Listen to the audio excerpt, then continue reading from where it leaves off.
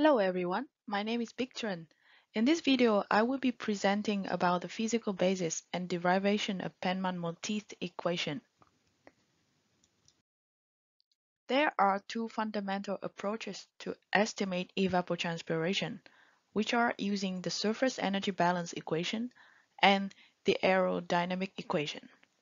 In the first approach, if net radiation Rn, soil heat flux G, and sensible heat flux H can be measured or reliably estimated, then the latent heat flux lambda E can be computed as the residual of surface energy balance.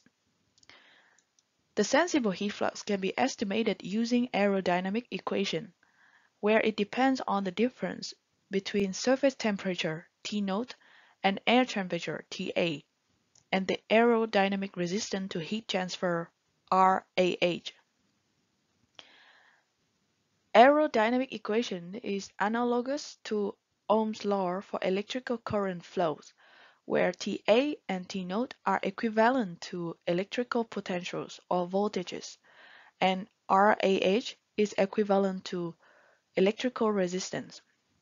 The challenge of this approach is to measure surface temperature. Measurement of surface temperature are not common due to high operational and maintenance requirements of the instruments, and difficulty of transferring measure values to other nearby locations due to thermal heterogeneity. In the aerodynamic approach, latent heat flux lambda E is estimated directly based on a similar aerodynamic expression to the sensible heat flux. Instead of temperature difference, latent heat flux depends on the difference between vapor pressure of the air EA and vapor pressure inside the evaporating surface E naught, the aerodynamic resistance to turbulent vapor transfer RAV, and the surface resistance to vapor flow RS. In practice, the measurement of vapor pressure inside the soil or plant surface is rare, which makes it difficult to estimate ET using either of these two approaches in routine practice.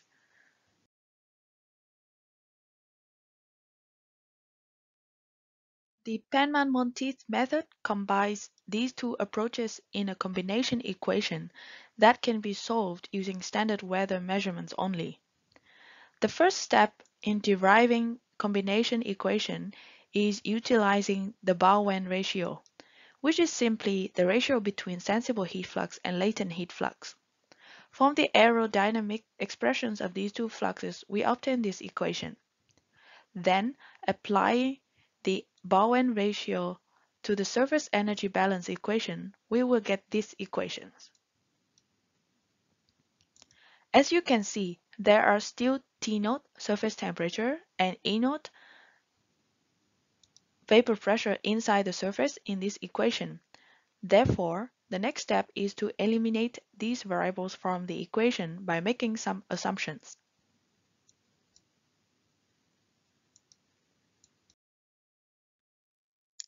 The first assumption is that vapor pressure inside the surface E naught is saturated and therefore is equivalent to the saturated vapor pressure of the surface temperature T naught. The slope of the psychrometric curve delta, which is the linear approximation of the saturated vapor pressure differences between two temperature T0 and TA is defined as follows. Based on this, we can replace the difference between T0 and TA in the combination equation with the following term. Thereby, we remove the need of the surface temperature to T0 in this equation.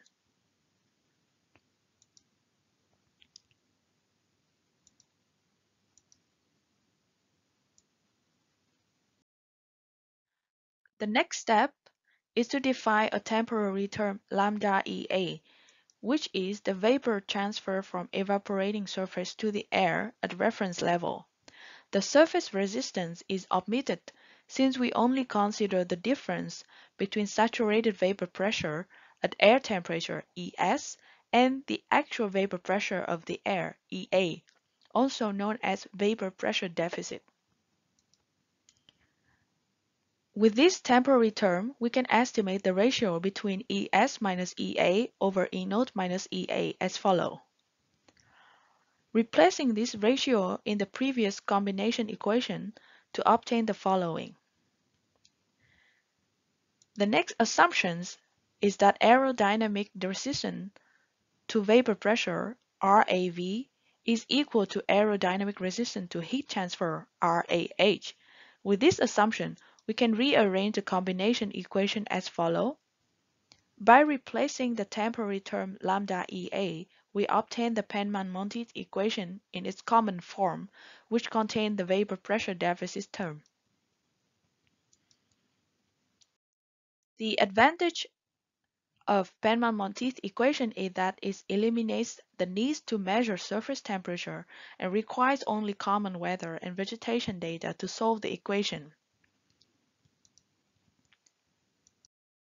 However, it means we assume that the net radi radiation is measured and not estimated from surface temperature, which is also called radiative uncoupled conditions.